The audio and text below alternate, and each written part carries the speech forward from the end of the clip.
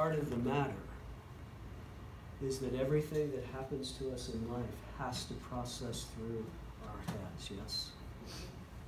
So everything you and I do, every interaction that we have on the job, off the job, always filters through this thing called the brain. And I don't know how these five days are hitting with your real life. You probably had lots of things you could do this week.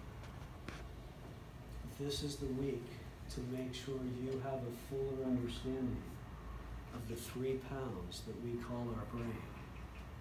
Because every interaction you have professionally and personally gets filtered through your brain and through the brains of the people that we are interacting with. So we often say we're getting to the heart of the matter and we point here. This week you're going to be challenged to see the heart of the matter is here. It's kind of the birth of the SWAT team mentality, the special weapons and tactics thought process. Uh, however, negotiations were never really the key part in the beginning. The kind of beginning was just forcing to let the chips fall where they may. Um, I guess that sounded good on paper. The problem is a lot of cops were getting hurt a lot of cops were dying uh, in situations that when you look back at hindsight, with some time and some dialogue and. Some adolescents, they don't seem to have the response that a more mature person would have. You show up in uniform and I'm probably calling you sir. Some of you have had young people when you show up and they're cussing you out. Because they don't have that whole part of their brain to be able to make a decision. state of survival, whether we're going to let that emotional center part of our brain be in control or whether we're going to make the mature part of our brain be in control. So if you are responding to a 32 year old, they may very well have this part of their brain, but this emotional part could have the throne of their life. Does that make sense? I'm going to make a wild suggestion that in here, all of us have come to terms and have made a decision that most of the time we have made this part the king or queen of our life. We are allowing that to have the fuller reign. We good? Normal or not so normal? Um, I need uh, in a minute to win it you guys to come up with some questions about adolescence, mental health, and all that stuff. And I'm going to try to get to as many questions as possible. So every group needs at least one question. Go, go, go, go, go. Thinking philosophical, deep thoughts. But it does become the foundation on which the billions and billions and billions of brain cells develop. And so when drugs are being used by mom in utero, it is affecting the whole brain. On the day of our birth, we had roughly 50% of our brain mass already in our head. Even though this is the last to reach maturity, it was with us in utero. By the time we are three, we have 75% of the total mass of our brain in our head at that point in time. So when there is uh, prenatal exposure to drugs, it can affect. After birth, it can affect. And it affects all of it, but here's what you need to know this part of the brain is simple, very simple. It is like the on off switch to your computer. The top part of your brain is very complex. In fact, one cell in the top part of your brain may be connected to 7,000 on average other cells. So if you lose one brain cell here, it affects 7,000 plus other brain cells. So the damage is much more likely to be here with substance abuse and substance use. Great question. Well, looking at it to the left, but you're. Ah, great. So it could be, from my perspective, it's pointing a different way. But even from my perspective, even though it's your left, it's my right, it's still pointing that way. North. Anybody see that completely different? And by the way, from the back versus the front, the perspective says this is different size, but this is basically the, same size whether you're looking at it in the front or the back. True?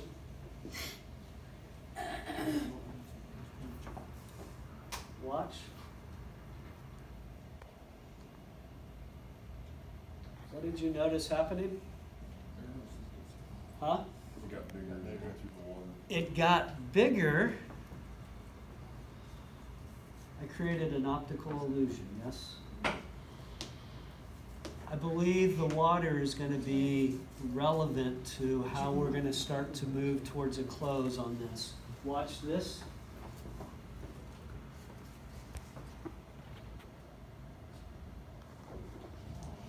What was different? Jamie, they're hallucinating now. All right.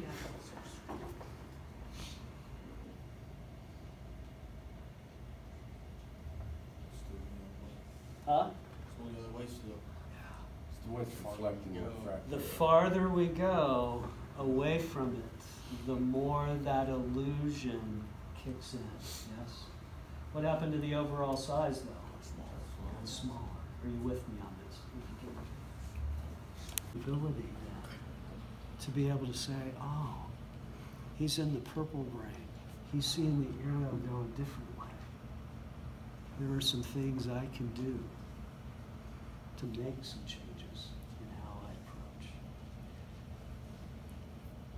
So it could be that the water represents hormones. What else could the water represent, by the way? Could represent emotions. 25% more typically in females than mm-hmm. males. Certainly more when you're a young adolescent and that part of your brain is the strongest part of the brain you've got. Love. that. Could the water represent anything else? Traumatic events. Say that? Traumatic events. Traumatic events. And by the way, now I want to put some dirt in this. Some of that stuff is dirty and yucky, but it would still do the same thing, just harder to see by. Love. If you can take what you've learned and say, I don't see it as pointing that way, but if that's where she's at, then I can adjust how I'm stepping into that situation. If you've been given a light, please rise and shine while there is still light. Thank you all very much. Ken? Audience, what do you think? Any changes?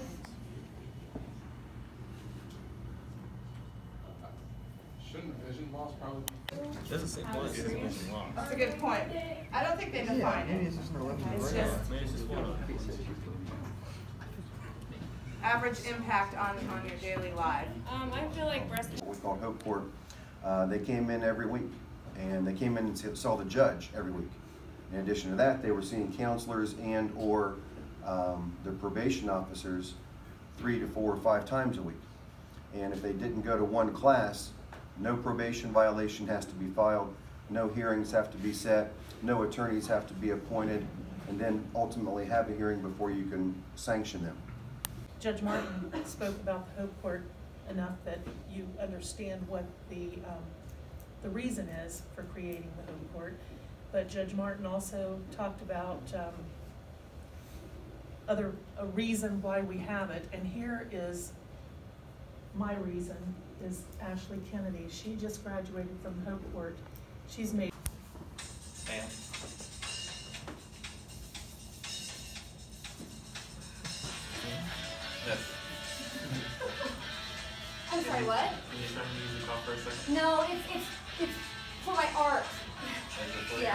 fine. What are you drawing? This is a masterpiece. I, I have a, a New York show. I have a New York show I'm pretty excited about. Looks really cool. Oh, thank you.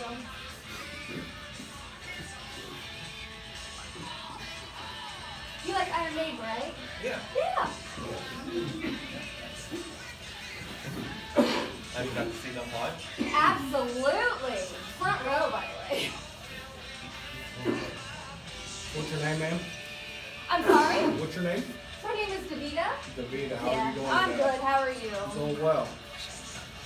Nice pictures you got going there. Thank you. That's awesome. Can you do me a favor? No. No? Perfect. Perfect. So what are you drawing there? You know, it just, I go where the art goes, you know? I mean, I just can't. Whatever the music takes. Yeah, you to, wherever the music takes me. That's awesome. Yeah, thank you. What's the song called? Uh, Run to the Hills by Iron Maiden. Iron Maiden. Yeah. Awesome. Perfect. Can we turn that down a little bit so we No, can no, talk? no, it's really. I can turn it down, but I won't turn it off. That's fine, that's fine. As long as you turn it down, just so we can talk and we can hear each other, that'd be perfect. Okay, is that better? Yes, ma'am. Great, Perfect. great, Thank you. great, great. How you feeling today? Oh, just fine. I mean, I think I'm doing really well, don't you? Uh, from that, that way the picture's looking, you're going really well. I know. Thank That's you. great. We got a call today, ma'am, for the loud music. Oh, that's So we're not my just- problem. No, I know, I, I know. We're just here going on job. so Okay. Everything good. Yeah, I'm great. All right. Don't I, I, I think I sing really great, so I'm fine. Yeah. Yeah. Energy's great. I Energy's- know. Thank you so much. Do you take any medication? Um, no, not really. What, well, sometimes I have been in the hospital, but it, that's just, you know. What were you in hospital for? Oh, you know, I just needed a little medication here and there, but I don't need it. I'm doing really well. Right. Yeah. What meds were you supposed to be Oh, I don't remember. Just whatever they gave me, but I, I, it slows me down. See, Right. you, you see how great this is going to be for a New York show. So, And what hospital was that?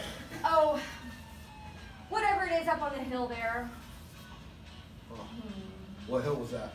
Well, in town here, you know, up on up on the hill, uh, whatever. Bethesda Genesis, whatever. called. Okay. And how long did you stay in that hospital? Mm, I don't know, maybe a couple days. You remember what it was for? No, I, I just, just you know, maybe it had a little too much energy one day. I don't know what people's problems are, really. And how, how much medication did they prescribe? Oh, Lord have mercy. If I knew that, I'd be taking it. Right, okay. So how long, when was the last time you took the medication? Oh, gosh, I don't know. I mean, I've been up for like two or three days, so a couple weeks ago, maybe. You know. And you're supposed to be taking this every day? Yeah, I think so, but I, I, my prescription ran out. The doctor. Anyway, I, I'm not, so I, I'm, I'm fine, really. Do you go any counseling? Oh, I tried that. It doesn't work. I mean, have you ever been to a counselor before? Please. Do you think I need it? I mean, come on. What counseling was you going through? Oh, God, I don't remember. When's the last Oh. time you've been to counseling?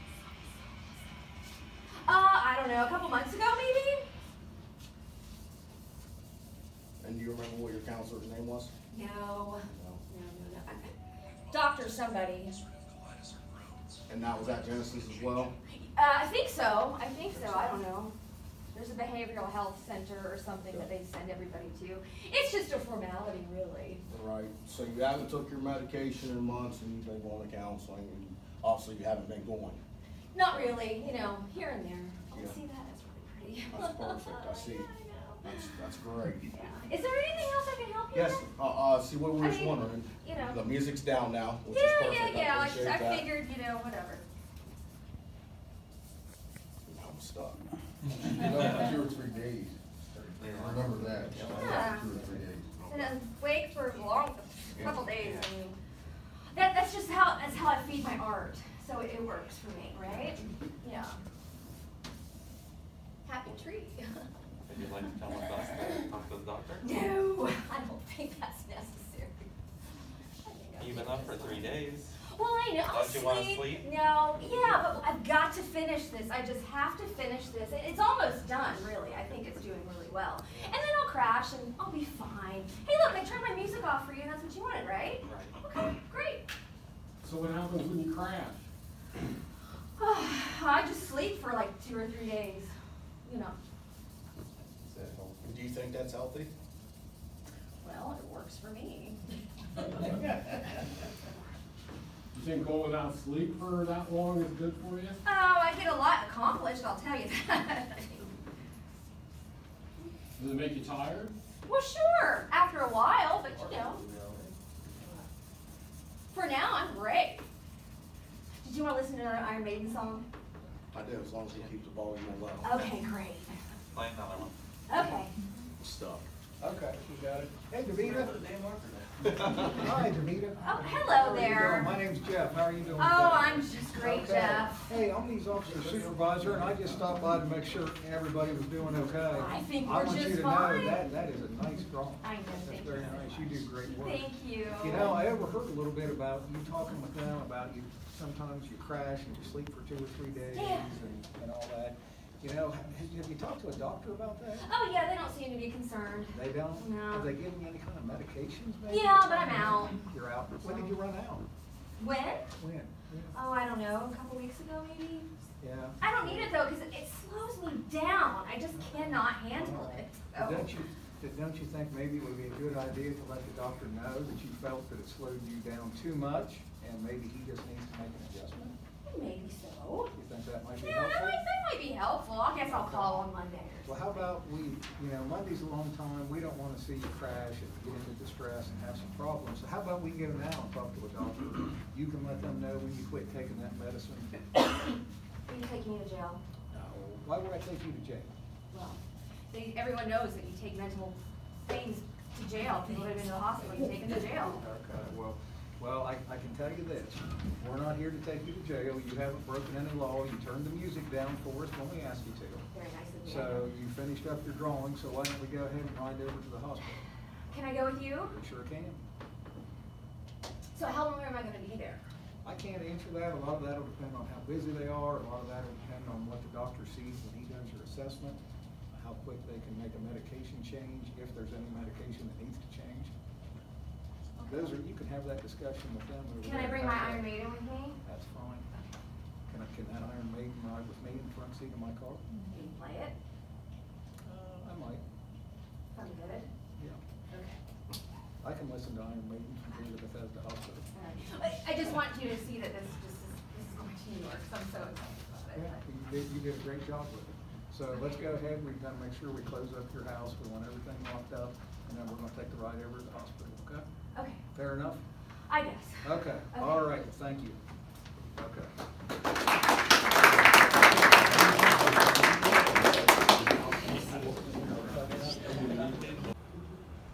Dr. Baker came in uh, to talk to Alex, trying to figure a little more out. And Alex just broke down. Just cried and cried. Uh, From everything from being bullied at school, school was absolute hell for him. Um, That kind of, that's kind of what put the, everything in motion. Uh, He referred us to uh, Children's Hospital. And uh, I think that's where he was actually diagnosed autistic. gene disorder, genetic testing. Yep, we went through all that, didn't we? Yeah. And it just continued to progress the older he got. To the point now that we know we have autism, plus we have mental health issues. And every day is different for us. Yeah. Every day, sometimes by, by the hour. Also come in on order to convey.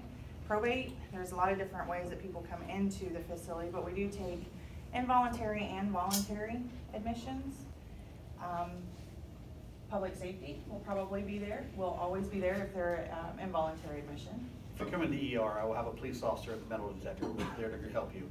And if you could help them by uh, letting them know if you've done a full search of the person and all that, it helps us in the back as well. If they need to go through the metal detector, we're there to help with that as well.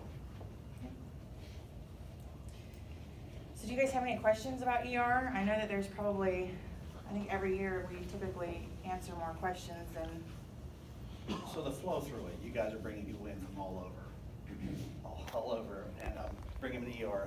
You're first gonna see my officer there at the, at the front entrance. Let them, let them help you with the search if need be and all that stuff. Um, I do have a few female officers, they're, she's mostly the one down in Perry County there a lot. I've seen it done, I've told people to do that a hundred times. in reference to, uh, and this got brought up earlier in the week, as far as if you- you guys see these people, if not more, if- just as much as we do. Um, so if they have a, a legal guardian, um, a lot of times they don't, you know, they admit that to us, they don't tell us, and, and we don't know, and they don't know how to operate a phone, or, and, and Gretchen Wilson's Jesus, whatever. So, uh, is that something that you guys can tell us when we get to the hospital, when we bring them in and, and we're trying to make talk? Because learning this week, if we get a hold of that guardian, now we can start the ball rolling on how to get this person the help they need because the guardian can determine some things that they, they aren't willing to determine. Um, I don't know if we could share that or not. I don't, I don't see why not, but We can check on that. It doesn't Yeah, fall under the it's- straight guidelines of PHI, protected healthcare Yeah. information. It's, it seems like something we could, but we, to cover us, we wanna double check with our legal. Well, that's just one thing that we were trying to figure out. We're running into a lot of people here recently. Um, he's got an. Foreman, and uh, then uh, was medically discharged with a ten percent medical disability, and uh, used the uh, VA uh, educational benefits to go resume my pre-med studies, graduated from medical school, and became a doctor. Monday through Friday, if it's a moderate thing where they're throwing up, vomiting, they'll go up to the detox center. at, uh, It's called New Horizons. Uh, I, I've heard rumors, I don't know for sure, but I think uh, Genesis is looking at expanding its addiction services. Uh, I- I- And that can happen twenty-four seven at Genesis. Yeah. They can go into. Yeah, you can at least get them uh, into the ER. Uh, Also, the ER facility in Perry County uh, follows the same policies and procedures, and it's, it's a good source for, uh, as a matter of fact, when we get into a medical issue with one of our people detox center, we send them up to the, the ER there in uh, Somerset, and they usually take care of that. Uh, The um, Dr. Tom Baker, who's one of the ER doctors at Genesis, has got a program set up. It's called a Bridge Program where the subject, and the, the author, Sam Quinones, actually gave a big talk here at Secrest a few years back, which unfortunately I missed. But, uh, it, it is really good It'll scare the crap out of you. So, alrighty, anything else? Thank you very much. Oh, you're welcome. Appreciate it. Um, so we do have, well, let's give them around. We have to. I tell you what, I really enjoyed working with you folks, and I hope I didn't bore you too much with my army stories. So, uh, uh, Thank you for what you do from the bottom of my heart. Keep it up. So we're going to take a fifteen minute break, so come back at twenty till. Get off, uh,